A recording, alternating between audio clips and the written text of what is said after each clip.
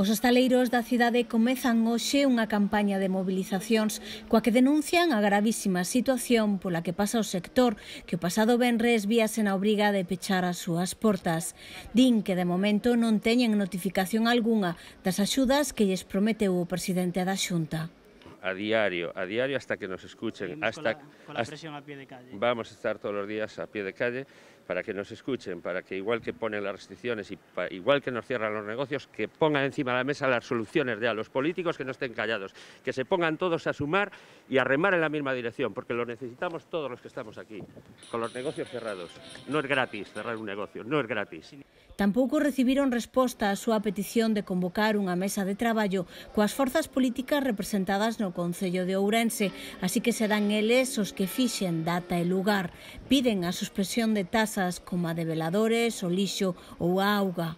No hay ningún porcentaje que nos atribuya la, la culpa de esto. O sea, nosotros eh, hemos sido los que más hemos trabajado con las medidas sanitarias. ¿no? Eh, en comparación con otros sectores estamos en una tremenda desigualdad.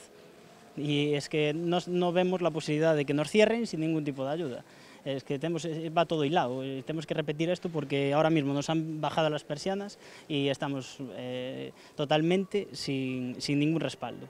Hoxe en Santiago Alfonso Rueda reuníase co clúster de turismo, pero as asociacións ourensás non estiveron representadas. Nosotros no llegamos al 3% de contagios en toda España con el COVID. La hostelería está demostrado. Está demostrado que es parte de la solución al problema.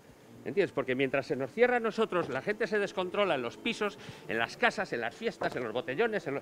La gente va igual a los IKEA a comprar, va igual a los centros comerciales. Está todo, todo, la gente vive, eh, sale igual, hacen otra vida, menos en nuestros negocios. Nos sentimos totalmente discriminados, marginados y sin soluciones.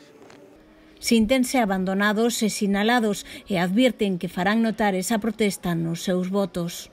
Que despois non nos vengan pidiendo el voto, cuando ahora mismo nos dejan con una mano delante y otra detrás. Esto repercutirá seguro en las urnas, porque ningún partido político se ha puesto de nuestro lado, por lo menos públicamente.